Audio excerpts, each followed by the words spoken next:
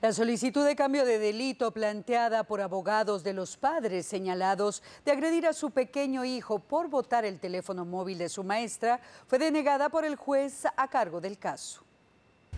Pues yo creo en la justicia, honorable juez, y sinceramente eh, la señora fiscal decía que gracias a Dios no fueron provocadas las lesiones en la cabeza. Claro que no fueron provocadas en la cabeza porque mi intención jamás fue matar a mi hijo si me equivoqué en ese momento de la manera que lo corregí, lo acepto. Estas fueron las palabras de Reiner Alfredo Villatoro, padre de un menor de edad a quien agredió en dos ocasiones por haber botado el teléfono celular de su maestra.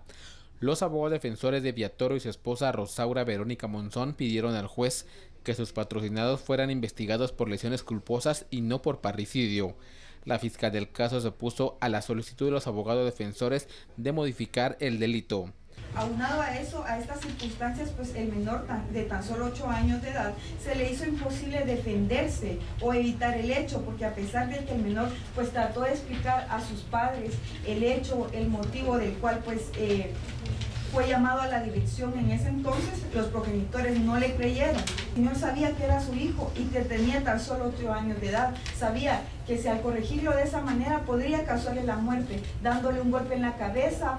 El juez José Eduardo Cojolum resolvió sin lugar la solicitud de defensa jurídica.